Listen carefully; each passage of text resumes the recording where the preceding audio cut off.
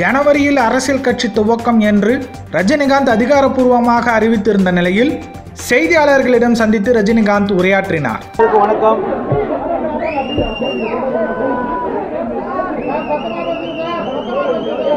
நான் வந்து two thousand seventeen December thirty ஃபஸ்ட்டே சொல்லியிருந்தேன். அதாவது அப்போ வந்து கார்ப்பரேஷன் எலெக்ஷன் வந்து வரதா இருந்தது. அதுக்கு வந்து நான் வந்து போட்டியிடுறதில்ல பார்லிமெண்ட் எலெக்ஷனில் வந்து அந்த நேரத்தில் முடிவு பண்ணுறேன் சட்டமன்ற தேர்தல் வரும்போது சட்டமன்ற தேர்தலுக்கு முன்னால் கட்சி ஆரம்பித்து நான் வந்து எழுநூற்றி முப்பத்தி நாலு தொகுதி வந்து நான் போட்டியிடுறேன்னு சொல்லியிருந்தேன். அதுக்கு வந்து நான் வந்து லீலா பேலஸ் மார்ச்சில் வந்துட்டு உங்களுக்கு நான் வந்து சந்திக்கும் போது சொல்லியிருந்தேன் மக்கள் மத்தியில் வந்து ஒரு எழுச்சி வரணும்.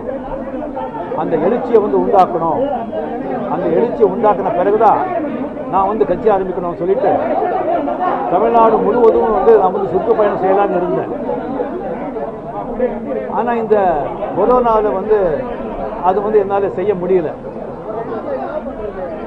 உங்களுக்கு வந்து தெரியும் எனக்கு வந்து இந்த சிறுநீரக மாற்ற நடந்திருக்கு அது வந்து நிறைய பேருக்கு வந்து தெரிஞ்சிருக்காது. அதாவது உடம்புல வந்து நோய் எதிர்ப்பு சக்தி கம்மி.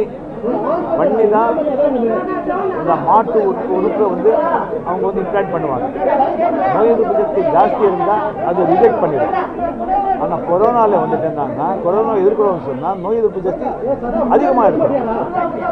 அதுதான் பெரிய ப்ராப்ளம் அதனால வந்து டாக்டர்ஸுங்க வந்துட்டு நீங்கள் ஜனங்க மத்தியில் போய் நீங்கள் பிரச்சாரம் பண்ணி அவங்களை சந்தித்து பண்ணுறது வந்து மெடிக்கலே வந்து டெஃபினெட்லி வந்து அது ஆபத்து அப்படின்னு சொன்னாங்க.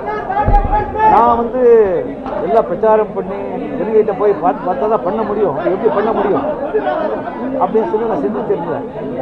அதுக்கப்புறம் வந்து நான் நினச்சேன் நினச்சே இல்லை. நான் எப்போவுமே இது வந்து அப்ப அந்த சிங்கப்பூரில் வந்து உடம்பு சரியில்லாமல் வரும்போது தமிழ் மக்கள் அவங்களுடைய பிரார்த்தனை அவங்களுடைய வேண்டுதல் அதில் தான் ஒரு உயிர் வந்து பிழைத்து வந்தேன் நான். இப்போ வந்துட்டு அவங்களுக்காக வந்து என் உயிரே போனால் கூட என்னை விட சந்தோஷப்படுவேன் வேறு யாருமே கிடையாது. கொடுத்த வாக்கு வந்து நான் என்றைக்குமே தவற மாட்டேன். ஒரு அரசியல் மாற்றம். ரொம்ப கட்டாயம். ரொம்ப கட்டாயம். அது காலத்தின் தேவை. ரொம்ப முக்கியம். ஒரு அரசியல் மாற்றம் இப்போ வந்து நடந்தே ஆகணும். இப்போ இல்லைன்னா அது எப்பவுமே கிடையாது. மாற்றணும். எல்லாத்தையும் மாற்றணும். எல்லாத்தையும் மாற்றணும். நான் வந்து அது வந்து நான் ஒரு நான் ஒரு சின்ன கருவி தான் அது வந்து நான் வந்து நீங்க தான் ஜனங்க. நீங்க முடிவு பண்ணணும். நீங்க முடிவு பண்ணணும் நான் வந்து அரசியலுக்கு நான் சொல்லிட்டேன். நான் வர்றேன். இந்த மாற்றம் நடக்கணும் நான் வந்த பிறகு நான் வெற்றி அடைஞ்சாலும் அது உங்களுடைய வெற்றி மக்களுடைய வெற்றி. அதை தோல்வி அடைஞ்சாலும் அது மக்களுடைய தோல்வி. ஸோ அந்த மாற்றத்துக்கு அங்கே எல்லாருமே என் துணையை துணையாக நிற்கணும் அப்படின்னு சொல்லி என்னை வாழ வைக்க விரும்பினாங்க தமிழ் மக்களை ரெண்டு கை கூப்பி நான் கேட்டுக்கொள்கிறேன். இப்போ நான் வந்து ஷூட்டிங் வந்து அண்ணாத்து ஷூட்டிங் எனக்கு வந்து இன்னொரு ஃபார்ட்டி பர்சன்ட் அண்ணாத்து ஷூட்டிங் இருக்கு. அது முடிக்கிறது என்னுடைய கடமை. அது முடிச்சு கொடுத்துருந்தோம் பட் கலாநிதி மாணவர்கள் சொன்னாங்க இருந்தால் அதை பற்றி நீங்கள் கொலையப்பட வேண்டாம். இதை பற்றி எல்லாம் சொன்னாங்க. இருந்தாலும் என்னுடைய கடமை உணவு அது நான் முடிக்கணும்.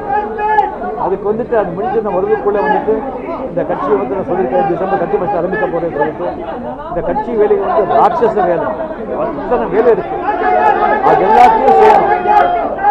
அதுக்கு வந்துட்டு அந்த வேலையெல்லாம் அது ஆல்ரெடி தொடங்கிட்டோம். இன்னும் இருக்குது அது இன்னும் இதுக்கெல்லாம் இது பண்ணுறதுக்காக நம்ம வந்து தமிழர் மணியன் ஐயா அவரை பற்றி நான் வந்து சொல்ல வேண்டிய அவசியம் இல்லை. நான் அரசியலுக்கு வரேன் எப்போ சொல்லியிருந்தோ அந்த நிமிஷத்திலிருந்து என்னை வந்து ஆதரிச்சுட்டே வந்துருக்காரு எவ்வளவோ விமர்சனம் வந்தால் கூட என்னை வந்து அவர் கைவிடல. அவர் வந்து ஒரு மேற்பார்வையாளராக வந்து இப்போ வந்து நம்ம நியமிச்சிருக்கேன். அவர் வந்து ஒத்துட்டுருக்காரு வந்து என்னுடைய மனமார்ந்த நன்றி. வந்து ஆர் அர்ஜுனமூர்த்தி இந்த என்எஃப்சி டெக்னாலஜி எக்ஸ்பர்ட் இவர் வந்து கிடைச்சது என்னுடைய பாக்கியம். ஸோ இது நம்ம வந்து இது வந்து கம்ப்ளீட்டாக இது வந்துட்டு நாம் வந்து கடினமாக நம்ம வேலை செஞ்சு என்னால் எவ்வளோ என்ன முடியுமோ அது இது பண்ணி முயற்சி பண்ணி நான் வந்து இந்த இடத்துல இந்த பாதையில் வெற்றி அடைகிறேன் அப்படிங்கிற நம்பிக்கை எனக்கு இருக்குது எப்போவுமே வந்து ஒவ்வொருத்தருக்கும் வந்து தலையெழுத்தம் இருக்கும். அதே மாதிரி ஒவ்வொரு நாட்டுக்கும் தலையெழுத்து இருக்கு. தமிழ்நாட்டு தலையத்தை மாற்ற வேண்டிய நாள் வந்தாச்சு. அது நிச்சயமாக அது நடக்கும். அரசியல் மாற்றம் ஆட்சி மாற்றம். இப்போ இல்லைன்னா எப்பவும் இல்லை. மாற்றுவோம் எல்லாத்தையும் மாற்றுவோம் வணக்கம்.